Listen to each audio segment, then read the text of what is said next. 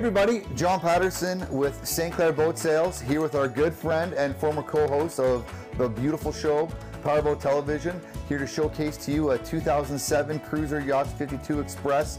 Thank you very much to the seller for the opportunity to list such an incredible boat. Thank you to all of our customers, our friends, all of our supporters, everybody out there. Thank you so much. If it wasn't for you guys, we wouldn't be anything. And we're just so excited to have Steve again. And it's, it's December, it's cold, but we're we're boat shopping. So thanks so much. I love it. Well, without people like you, we wouldn't be able to get the boat. So this works out. But uh, when you Yeah. told me December, I was a little nervous. But being indoor heated storage makes this a nice shoot. Uh, right away, though, just the beam of this boat, 15 and a half feet. It's so roomy and Massive. livable up here. It is. Down below, you'd think it'd feel a little more cramped. Somehow it doesn't because of all the lights and the colors. Yeah. So we'll start down below. Let's go down. Uh, we'll start in the master stateroom. Located midship, you'll find a king size bed on the center line and a love seat settee on the port side. Behind the cherry wood doors, you'll find the washer dryer unit. Large portholes let natural light flood in, and below the settee, you'll find the underlying theme of cruisers yachts a ton of storage everywhere throughout the boat, including on the starboard side, where you'll find deep reaching cabinets and large drawers. A lot of people that have boats this size still only use them as day boats, and that's fine. But a lot of people, myself included, I like using my sport yacht a lot, like a floating cottage.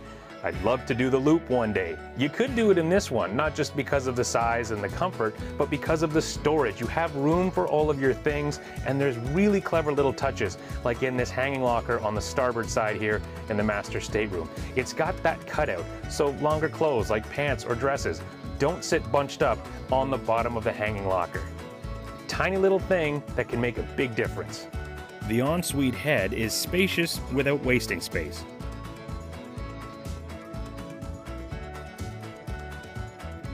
There's a separate shower with glass door, ample counter space, and more storage behind mirrored cabinet doors. Entering the main salon, you step up past the side by side fridge freezer unit, and of course, they've built storage in wherever they can here as well, including shelves large enough to house a blender. The galley is massive, with an L shaped counter wrapping along the port side. There's a ceramic dual stovetop, dual basin sink, a drawer style dishwasher, and plenty of room for dishes with sturdy clasps on the doors. A popular and unique cocktail bar setup is on display while keeping things safe and secure, including bottle holders of various sizes and room for your glassware. Wood accents on the ceiling, just behind the dual hatches, combine nicely with the light colors down here to give a warm yet open feeling of a cavernous living space. The cabinets above the portholes are deceivingly deep, and this is where you'll find easy access to the breakers. At the other end of the massive lounger is room for your larger items. Just check out how much we crammed in here. There's so much room on these wood floors, you could even use a Yeti cooler as an ottoman. It's not cramped. There's a wood table that can fold out for entertaining, and in the floor you'll find some more storage for essentials. Just ahead, there's the bow thruster and battery and sump pump, all with easy access for maintenance or repairs. And right around here is where the main access to the guest head is. It too has a separate shower, plenty of room, yet with lots of storage for your guests and for cleaning supplies. This 520 is equipped with central vac and clearly designed by boaters, with solid magnets to hold doors open even when underway. The guest suite at the bow has a queen bed on the center line and direct access to the head. The cherrywood cabinets give your guests room for their things along both sides and in a deep reaching drawer at the foot of the bed. There's also a cedar lined hanging locker on the starboard side. Moving back up to the helm, there are twin helm chairs with bolsters and an automotive inspired dash design. Nice touches like a footrail under the helm and a hatch overhead.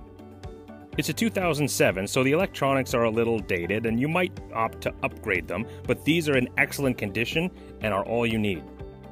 The aft cockpit will be prime real estate with the entertainment console, fridge, and grill on the port side and a wraparound bench opposite.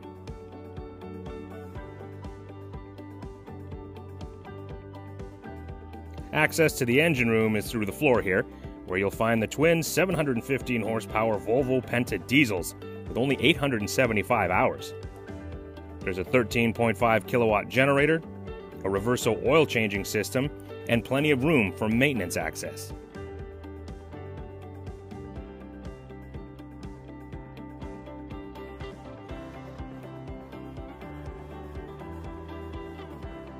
Also worth noting, this has a hydraulic swim platform.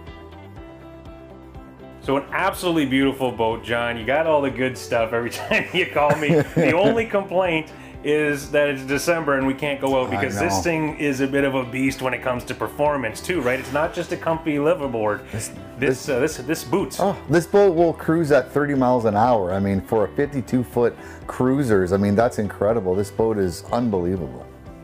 And if someone wants it, they can contact John. And if this boat uh, isn't what you're looking for, you're looking for something else, or you have one to sell, you're the man, right? That's it. That's it. Thanks so much, and thanks to everybody, and uh, thanks for coming down, Steve. You're welcome. Take care.